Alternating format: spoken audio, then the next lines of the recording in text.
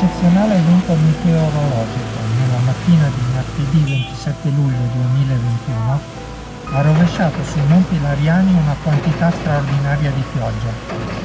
In pochi minuti l'acqua piovana si è convogliata nelle ripide valli, ingrossando i torrenti.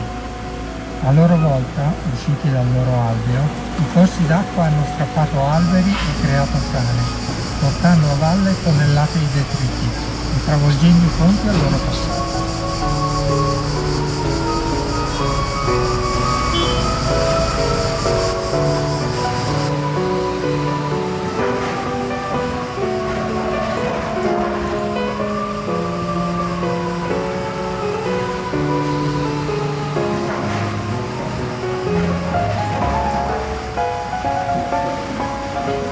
A Lagno, in Val Caradello, tra la provinciale 71 e la statale 370 Regina, una valanga di acqua, fango e detriti ha sommerso le case, costruendo porte e finestre fino a oltre il primo piano.